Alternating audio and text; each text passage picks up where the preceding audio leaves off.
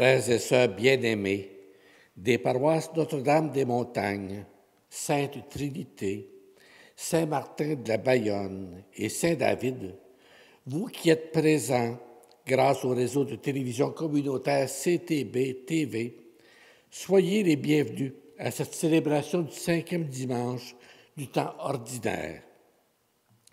Vous avez répondu à l'appel du Seigneur. Oui, comme il a appelé les prophètes et les apôtres, il nous rassemble pour nous redire son amour.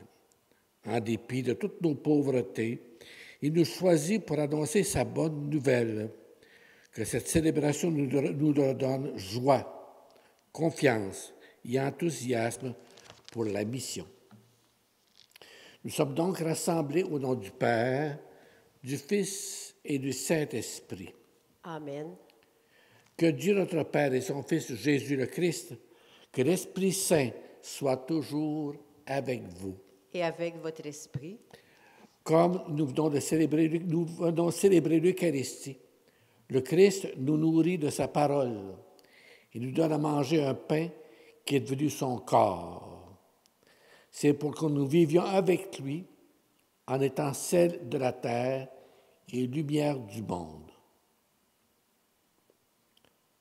Pour bien célébrer l'Eucharistie, nous devons nous y présenter avec un cœur purifié. Reconnaissons que nous sommes pécheurs et demandons à Dieu de nous manifester sa miséricorde. Seigneur Jésus, toi qui nous as appelés à marcher à ta suite, prends pitié de nous. Prends pitié de nous. Ô Christ, toi qui nous demandes d'être celle de la terre et lumière du monde, prends pitié de nous. Prends pitié de nous. Seigneur, toi qui désires que nous soyons les témoins de ta résurrection, prends pitié de nous. Prends pitié de nous. Que Dieu Tout-Puissant nous fasse miséricorde, qu'il nous pardonne nos fautes et nous guide jusqu'à la vie éternelle. Amen. Dans la joie, louons le Seigneur notre Dieu. Ainsi, dans la louange de l'Église de la terre, nous sommes unis à l'Église du ciel. Chantons le Seigneur avec tous les anges.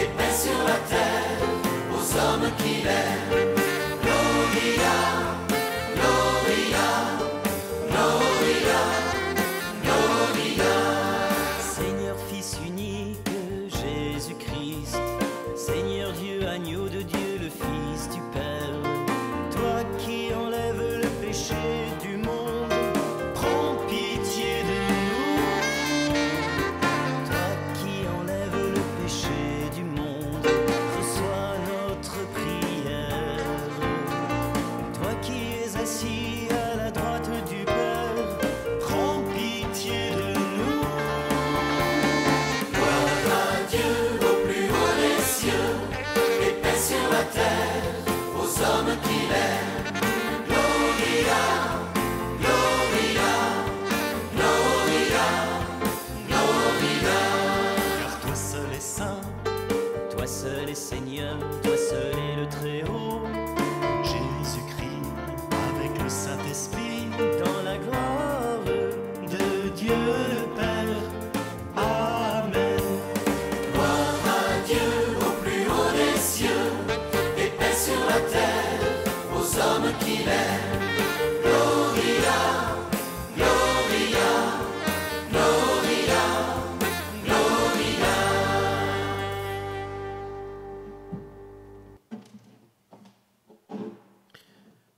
Prions. Recueillons-nous dans un instant et disposons nos cœurs à la prière. Dieu notre Père, pour te révéler au monde et lui annoncer que tu es son sauveur, tu comptes sur chacun, chacune de nous. Aide-nous à bien accomplir la mission que tu nous as confiée, d'être celle de la terre et lumière du monde. Te le demandons par Jésus le Christ, notre Seigneur. Amen.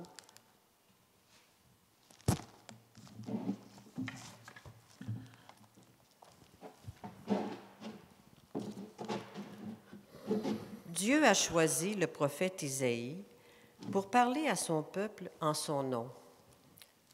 Jésus a appelé des pêcheurs de poissons à devenir des pêcheurs d'hommes. C'est nous, les baptisés, qui sommes maintenant appelés à travailler aux œuvres de Dieu. Du livre du prophète Isaïe.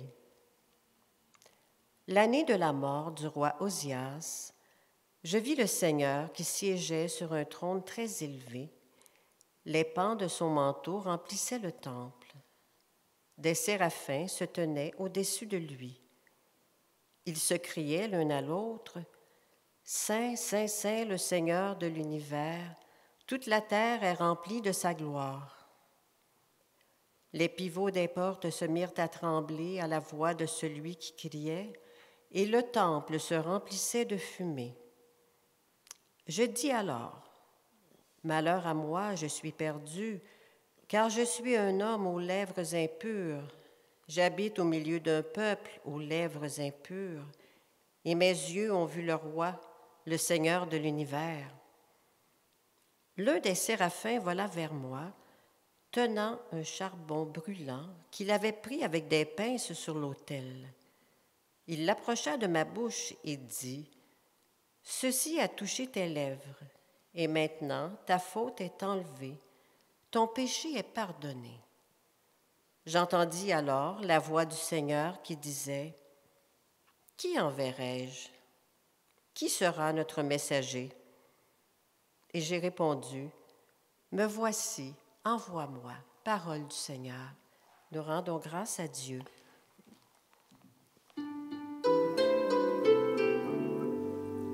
grâce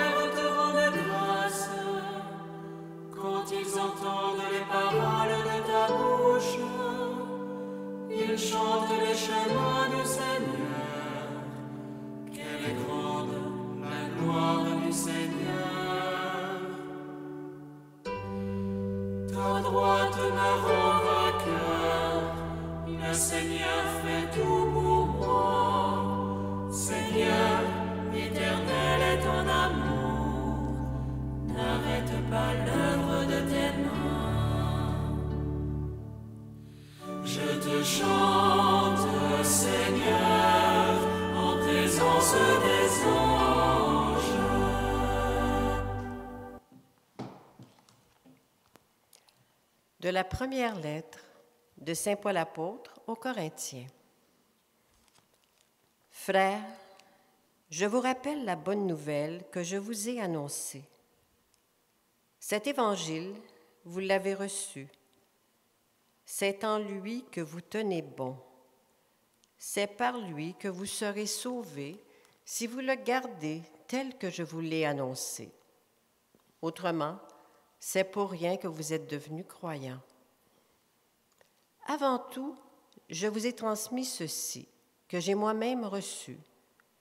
Le Christ est mort pour nos péchés, conformément aux Écritures, et il fut mis au tombeau.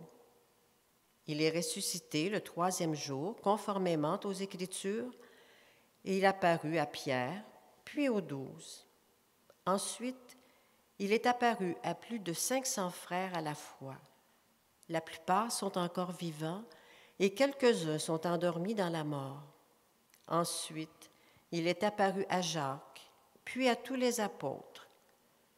Et en tout dernier lieu, il est même apparu à l'avorton que je suis.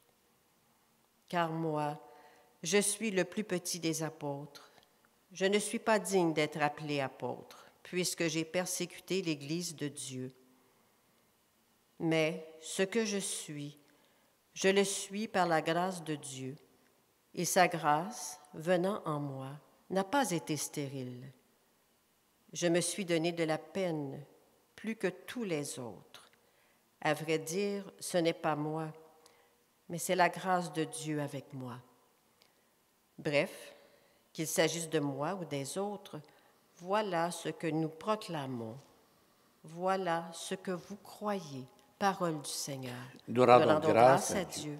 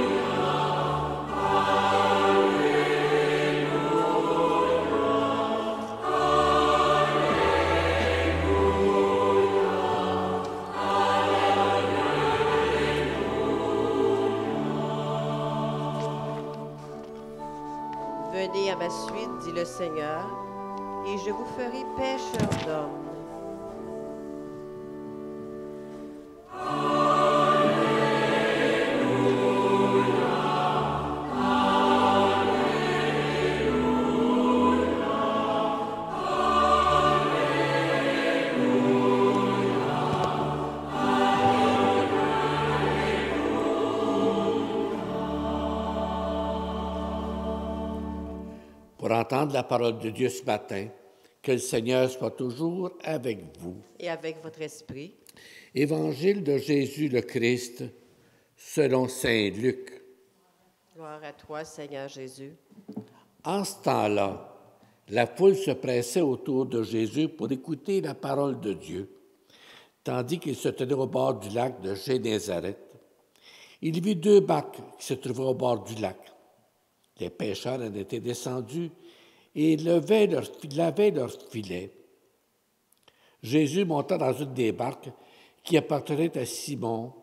Il lui demanda de s'écarter un peu du rivage. Puis il s'assit et de la barque, il enseignait les foules.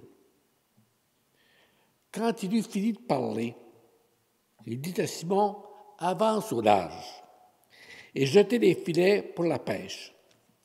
Simon lui répondit, Maître, nous avons peiné toute la nuit sans rien prendre, mais sur ta parole, je vais jeter les filets.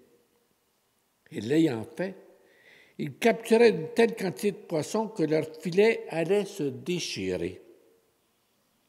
Ils firent signe à leurs compagnons de l'autre barque de venir les aider. Ceux-ci vinrent, et ils remplirent les deux barques à tel point qu'elles enfonçaient. Cette vue, Simon-Pierre tomba au genoux de Jésus en disant Éloigne-toi de moi, Seigneur, car je suis un homme pécheur. En effet, un grand effroi l'avait saisi, lui et tous ceux qui étaient avec lui. Devant la grande quantité de poissons qu'ils avaient pêchés, et de même Jacques fils, et Jean, fils de Zébédée, les associés de Simon. Jésus dit à Simon, Sois sans crainte, désormais, ce sont des hommes que tu prendras. Alors ils ramenèrent les barques au rivage et laissant tout, ils le suivirent. Acclamons cette parole de Dieu. Louange à toi, Seigneur Jésus. Bien, chers amis, l'Évangile d'aujourd'hui nous parle d'une histoire de pêche, pas n'importe quelle, la pêche miraculeuse. Aujourd'hui, nous sommes dans une région où la pêche est un sport, une activité qu'un bon nombre occupe parce que nous avons de nombreux lacs dans notre région. Beaucoup de personnes restent sur le bord des lacs et des personnes de l'extérieur viennent pêcher chez nous. Aussi, regardons ensemble, puisqu'on parle de pêche, quelques facteurs qui peuvent arriver lors d'une sortie de pêche. Oui, il peut arriver que comme au temps de Jésus, il y a des pêcheurs qui peuvent aller sur l'eau et pêcher toute une journée sans rien prendre. Et puis passe un vieux pêcheur à qui on raconte cela. C'est un qui connaît bien le lac, avec ses fosses, ses puits, la profondeur, les facteurs d'une bonne pêche. Et ce pêcheur expérimenté dit, mais ben, Allez donc dans tel coin du lac. Vous allez faire une bonne pêche. Et si ces gens-là écoutent, retournent à la pêche dans cet endroit-là, ou ces endroits-là, il peut arriver qu'ils fassent une bonne pêche. Ils ont fait confiance en ce pêcheur expérimenté. Bien, chers amis, aujourd'hui, dans l'Évangile, Jésus donne l'exemple, ou plutôt Saint Luc, qui écrit l'Évangile, donne un exemple pareil. Les apôtres, donc les amis de Jésus, sont allés à la pêche sur un lac probablement, probablement poissonneux puisqu'ils sont là, le lac de Génézareth. Et puis, Jésus leur demande, mais comment ça va? Ils répondent, nous avons passé toute la nuit sans rien prendre. Jésus leur dit, mais allez plus loin, allez au large, jetez les filets. Et là, nous savons hein, la suite. Ils jettent leurs filets il y a tellement de poissons que les filets menacent de se rompre. Et la deuxième bac arrive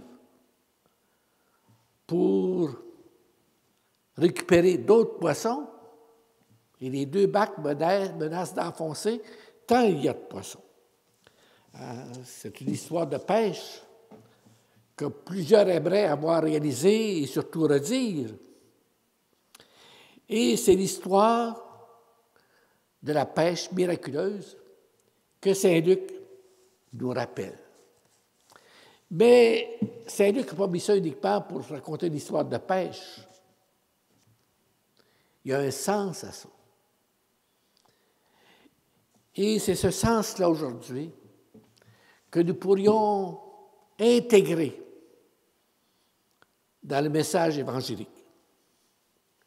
Encore aujourd'hui, ceux qui ont suivi Jésus, ceux qui le suivent, comme dit le texte biblique,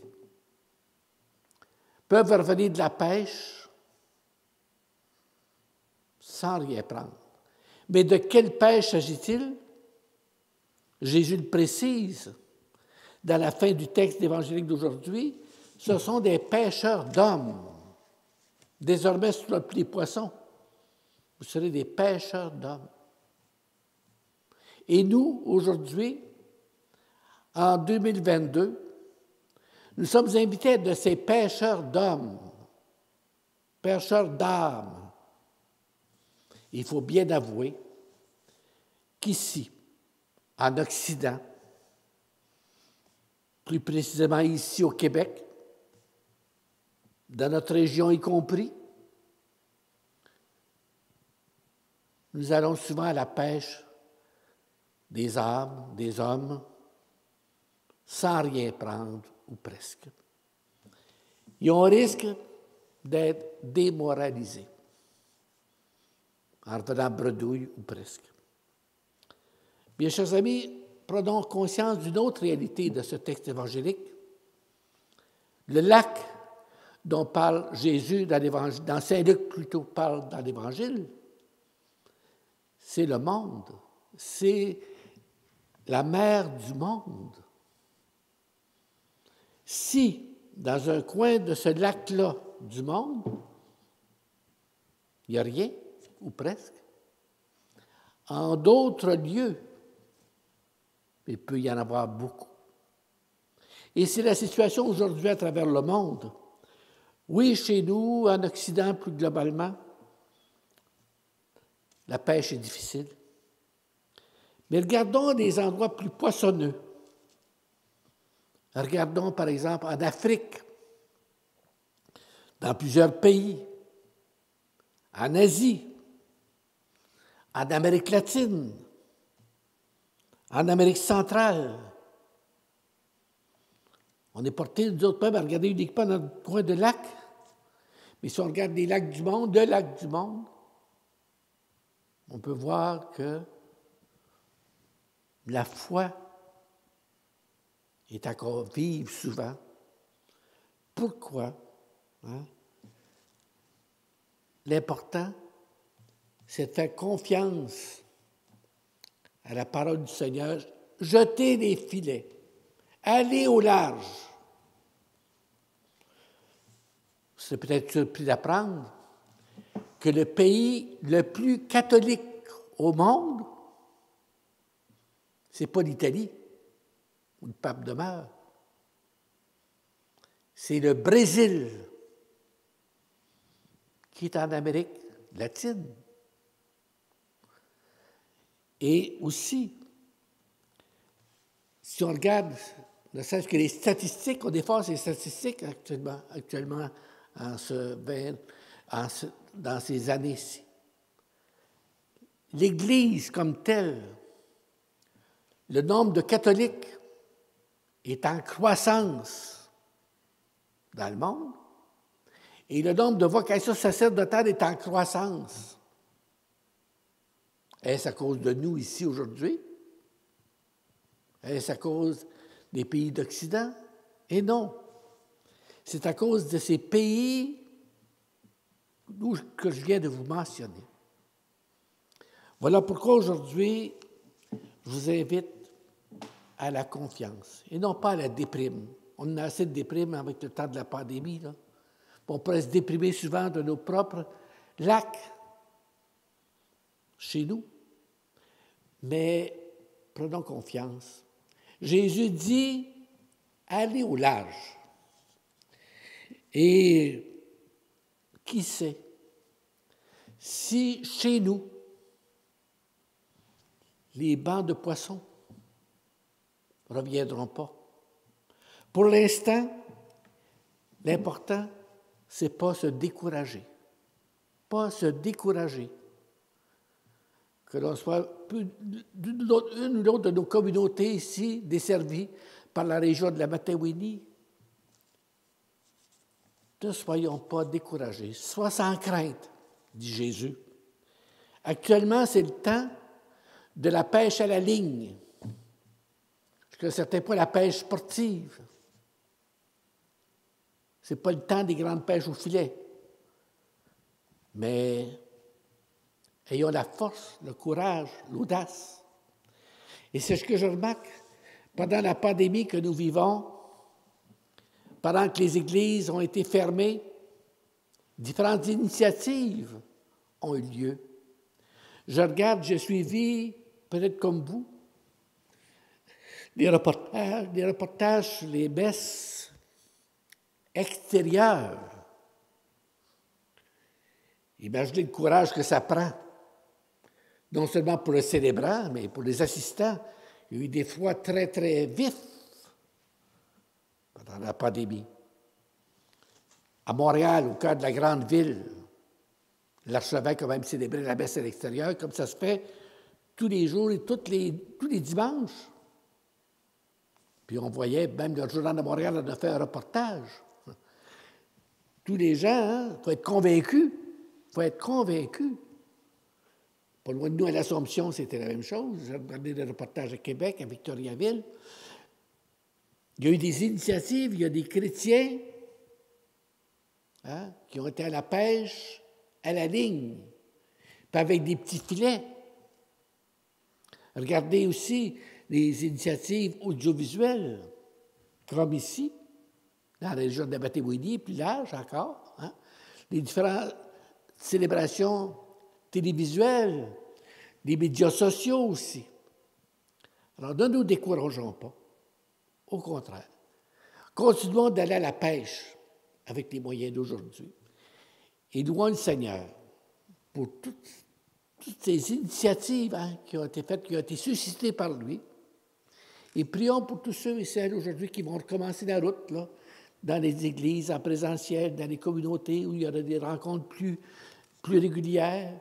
Prions pour que la mission, que la pêche soit bonne chez nous et ailleurs. Amen.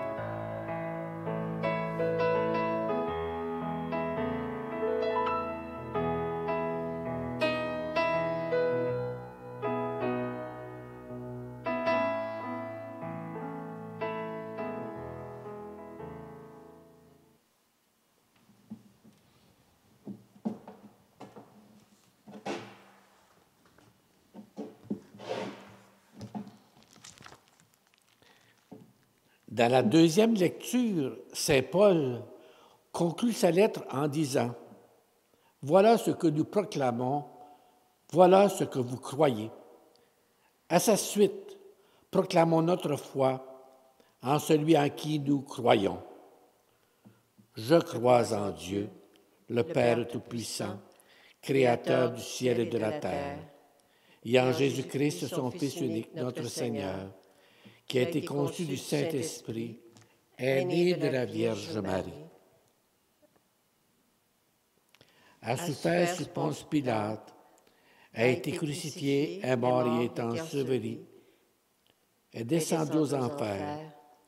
Le troisième jour est ressuscité des morts, est monté aux cieux, est assis à la droite de Dieu le Père Tout-Puissant, d'où il viendra juger les vivants et les morts. Je crois à l'Esprit Saint, à la Sainte Église catholique, à la communion des saints, à la rémission des péchés, à la résurrection de la chair et à la vie éternelle. Amen. Avec sincérité et ferveur, prions Dieu de, de soutenir tous ceux et celles qui sont conviés à témoigner du Christ et de son évangile. Après chaque intention, nous répondrons, Seigneur, écoute-nous. Seigneur, exauce-nous. Pour tous les baptisés qui ont à manifester leur foi, leur espérance et l'amour que Dieu leur porte, prions. Seigneur, écoute-nous. Seigneur, exauce-nous. Pour les religieuses et les religieux qui ont choisi de témoigner de l'existence de Dieu en lui consacrant leur vie entière, prions. Seigneur, écoute-nous. Seigneur, exauce-nous. Pour les ministres ordonnés, diacres, prêtres et évêques qui se mettent au service de Dieu et des membres de son peuple, prions. Seigneur, écoute-nous. Seigneur, exauce-nous. Pour le pape François, appelé à être le serviteur de tous les serviteurs de Dieu au sein de l'Église, prions. Seigneur, écoute-nous. Seigneur, exauce-nous. Pour nous qui sommes invités à former des communautés chrétiennes au sein desquelles nous nous aimons vraiment les uns les autres, prions. Seigneur, écoute-nous. Seigneur, exauce-nous. Pour les agents et agentes de pastoral appelés à accompagner les nouveaux croyants et croyantes, jeunes ou plus âgés, ainsi que pour les catéchètes en état de service, prions. Seigneur, écoute-nous. Seigneur, exauce-nous. Pour tous les baptisés engagés en Église dans les services de la liturgie, du chant choral, des célébrations de la parole et autres services essentiels à la vie de nos communautés, prions. Seigneur, écoute-nous. Seigneur, exauce-nous.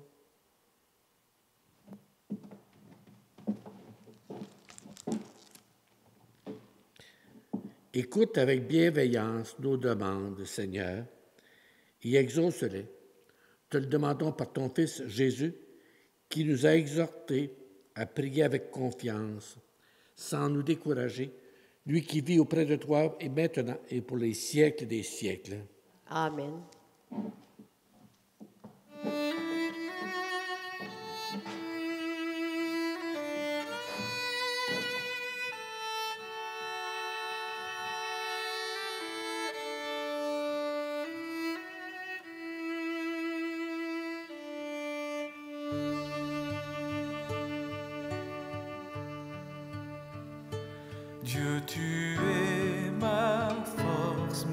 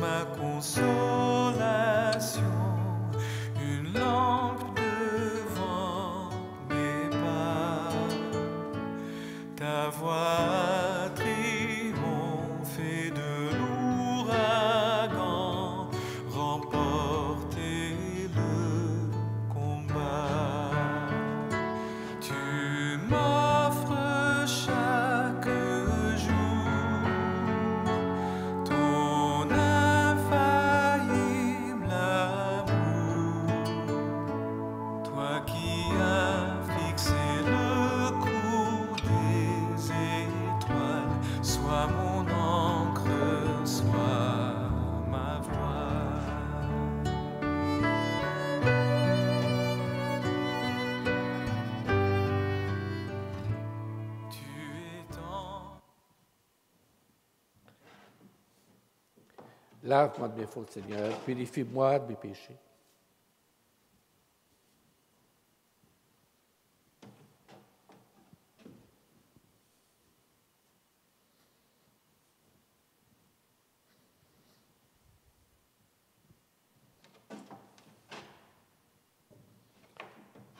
Prions ensemble au moment d'offrir le sacrifice de toute l'Église. Et le salut du monde. Seigneur notre Dieu, tu as choisi dans ta création ces aliments qui soutiennent notre fragilité. Nous t'en prions. Fais qu'ils deviennent aussi pour nous le sacrement de la vie éternelle par Jésus le Christ et notre Seigneur. Amen. Le Seigneur soit avec vous. Et avec votre esprit. Élevons notre cœur. Nous le tournons vers le Seigneur. Rendons grâce au Seigneur notre Dieu. Cela est juste et bon. vraiment, il est juste et bon de te rendre gloire et notre, pour ta gloire et notre salut, de t'offrir notre action de grâce toujours et en tout lieu, Seigneur, Père très saint, Dieu éternel et tout-puissant. Par le sang que ton Fils et, et la force de l'Esprit, tu as voulu réunir auprès de toi tes enfants que le péché avait éloignés, et ce peuple qui tient son unité de la Trinité sainte à la louange de ta sagesse infinie, c'est l'Église, corps du Christ et temple de l'Esprit. C'est pourquoi, unissant nos voix à celles des anges, nous te louons dans la joie en proclamant.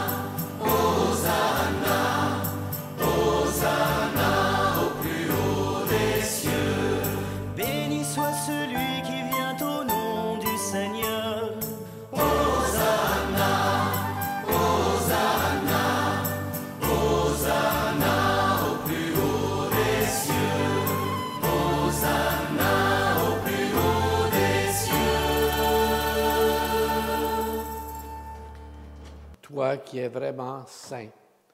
Toi qui es la source de toute sainteté, Dieu notre Père, nous voici rassemblés devant toi. Et dans la communion de toute l'Église, nous célébrons le jour où le Christ est ressuscité d'entre les morts. Par lui que tu élèves à ta droite, nous te prions, sanctifie ces offrandes en répandant sur elles ton esprit, qu'elles deviennent pour nous le corps et le sang de Jésus le Christ, notre Seigneur au moment d'être livré et d'entrer librement dans sa passion, il prit le pain. En te rendant grâce, il le bénit, il le rompit et le donna à ses disciples en disant, Prenez et mangez-en tous. Ceci est mon corps livré pour vous.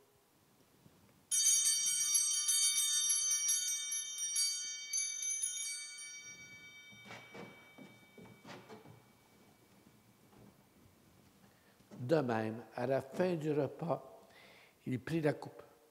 De nouveau, il rendit grâce et la donna à ses disciples en disant, Prenez et buvez-en tous, car ceci est la coupe de mon sang, le sang de l'alliance nouvelle et éternelle, qui sera versé pour vous et pour la multitude en rémission des péchés.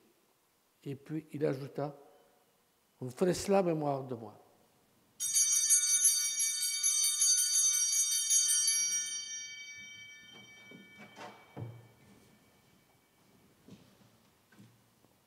Il est grand, le mystère de la foi.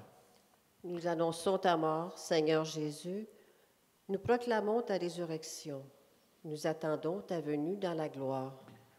En faisant ainsi mémoire de la mort et de la résurrection de ton Fils, nous t'offrons, Seigneur, le pain de la vie et la coupe du salut, et nous te rendons grâce car tu nous as estimés dignes de nous tenir devant toi pour te servir.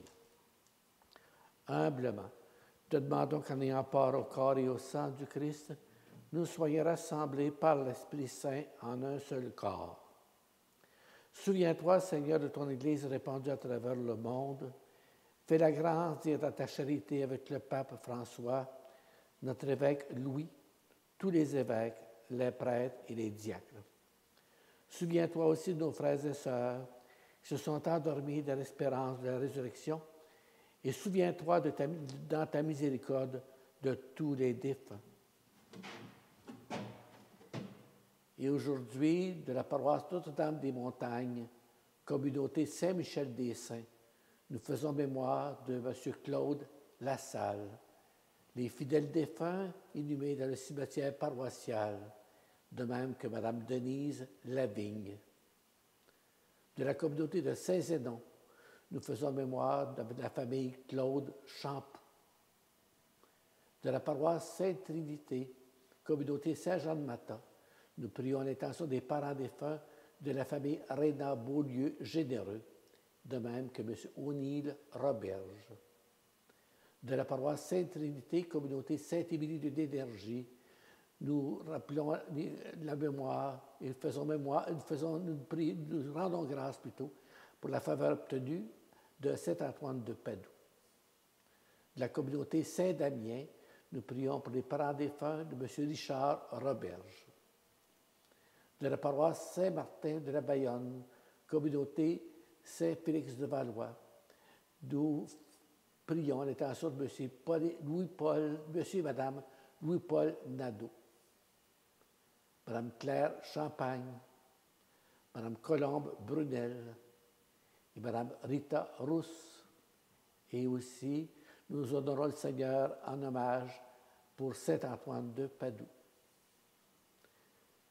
De la communauté Sainte-Élisabeth, nous prions l'intention de Mme Thérèse Arnois et ses enfants décédés, Chantal, Camille, François, Sylvain et Myriam. Nous prions aussi dans la communauté de Saint-Charles pour Céline Gignac, Thérèse Pontbriand-Rivard, André Parent, Vincent Leduc, qui est entré dans l'éternité il y a dix ans, les parents défunts de la famille Sylvestre, de même que M. Gabriel Saint-Martin. De la, de la communauté Saint-Didas, nous prions pour les parents défunts de Claude et Marguerite Lefrançois, de même que M. Christian Roch. De la communauté Saint-Gabriel, nous prions l'intention de M. Régis Lachance, M. Robert Couturier et Mme Monique Roberge. Accueille-les tous dans ta lumière, dans la lumière de ton visage. Sur nous tous, enfin, nous implorons ta bonté Permets qu'avec la Vierge Marie, la bienheureuse Mère de Dieu, avec Saint Joseph, son époux, avec les apôtres et les saints de tous les temps, qui ont fait ta joie au long des âges, nous ayons part à la vie éternelle, que nous obtenions, chantions ta louange par Jésus-Christ, ton Fils, notre Seigneur. Parle-lui, avec lui et en lui, à toi, Dieu le Père Tout-Puissant, dans l'unité du Saint-Esprit, tout honneur et toute gloire pour les siècles des siècles. Amen. Dieu se plaît à nous voir adresser avec lui, s'adresser, nous adresser à lui avec les mots que son Fils nous a laissés.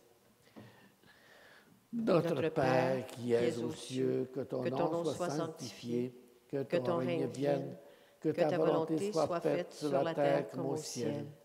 Donne-nous aujourd'hui notre Père de ce jour. Pardonne-nous nos offenses, comme nous pardonnons aussi à ceux qui nous ont offensés et ne nous laisse pas entrer en tentation, mais délivre-nous du mal. Amen. Seigneur Jésus, tu as dit à tes apôtres, je vous laisse la paix, je vous donne ma paix. Ne regarde pas nos péchés, mais la foi de ton Église.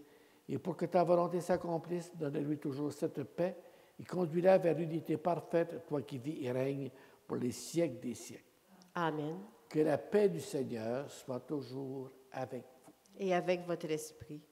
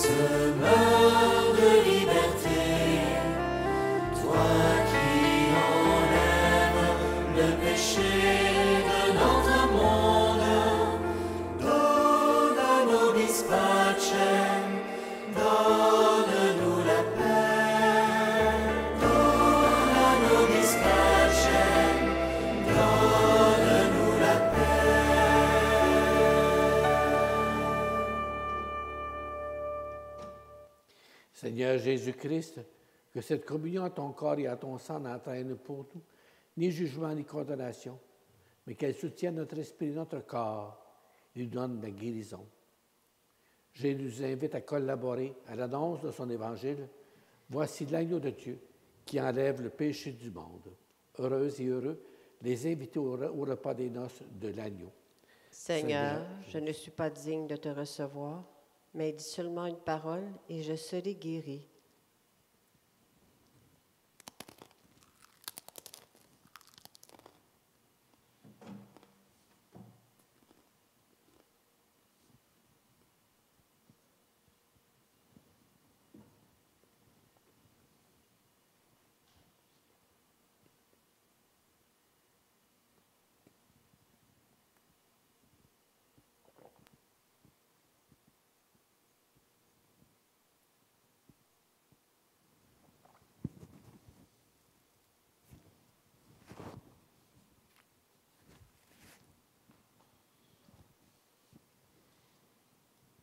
le corps du Christ.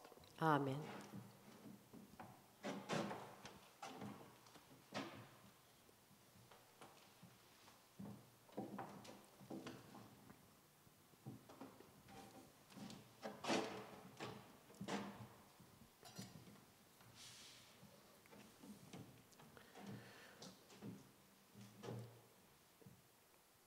La communion spirituelle est une manière de recevoir le fruit la grâce de l'Eucharistie, alors que même quand on est empêché de recevoir le corps du Christ, comme c'est le cas maintenant, ou de prendre part à la célébration de la messe en présentiel, je vous invite à accueillir cette grâce de la communion spirituelle. Mon Jésus, je crois que tu es ici présent dans le Saint-Sacrement. Je t'aime par-dessus toutes choses et je désire ardemment te recevoir dans mon âme. Puisque je ne peux à cette heure te recevoir sacramentellement, viens au moins spirituellement dans mon cœur. Comme si tu y étais déjà présent, je t'adore, et tout entière, je m'unis à toi. Ne permets jamais que je sépare de toi. Amen.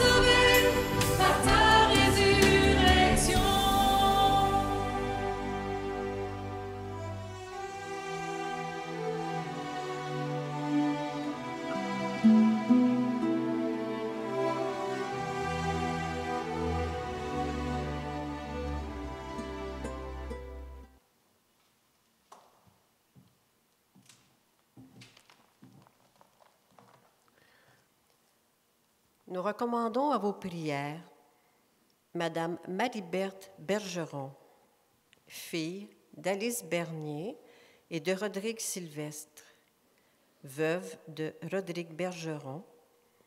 Elle sera exposée vendredi le 11 février de 15h à 17h et de 19h à 21h, ainsi que samedi le 12 février de 9h à 10h30 à la résidence funéraire Bernard Lompré. Les funérailles seront célébrées à 11h à la chapelle de Saint-Gabriel. Nous recommandons également Madame Jeannette Groux, fille d'Hélène Benoît et d'Antoine Groux, veuve d'Albert Gravel. Elle sera exposée samedi, le 12 février, de 10h à 13h30 au centre funéraire Yves Houle. Les funérailles seront célébrées samedi, le 12 février, à 14h, à la chapelle à Saint-Gabriel. Nous recommandons également Madame Yvette Charbonneau, fille d'Albertina Ducharme et de Wilfrid Charbonneau, veuve de Gilles Bourgeois. Elle sera exposée samedi le 12 février de 13h à 14h à la résidence funéraire Bernard Lompré. Les funérailles se tiendront à 14h30 à l'église de Saint-Charles. Ce matin, vous venez d'assister à la dernière célébration télévisée. Nous sommes tous très heureux de retourner célébrer en présentiel dans chacune de nos communautés. N'oubliez pas que le passeport vaccinal demeure obligatoire ainsi que toutes les règles sanitaires mises en place par la santé publique.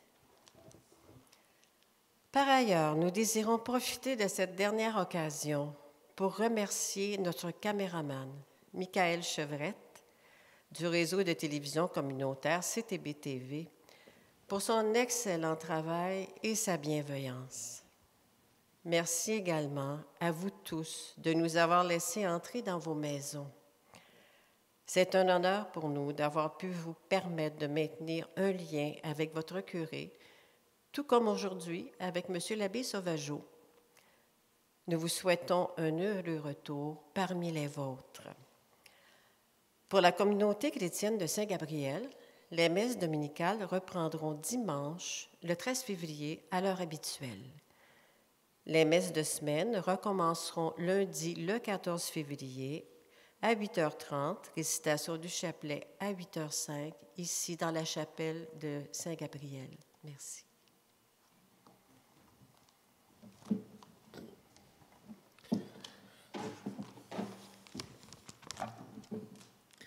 Prions le Seigneur.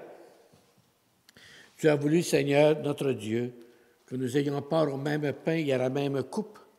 Nous t'en prions, puisque nous sommes devenus un seul corps dans le Christ, que notre manière de vivre nous donne la joie de porter du fruit pour le salut du monde par le Christ notre Seigneur. Amen. Le Seigneur soit avec vous Et avec votre esprit. et que Dieu Tout-Puissant vous bénisse, le Père, le Fils et le Saint-Esprit. Amen. Frères et sœurs, vivez dans la foi, l'espérance et la charité et allez dans la paix du Christ. Nous rendons grâce à Dieu.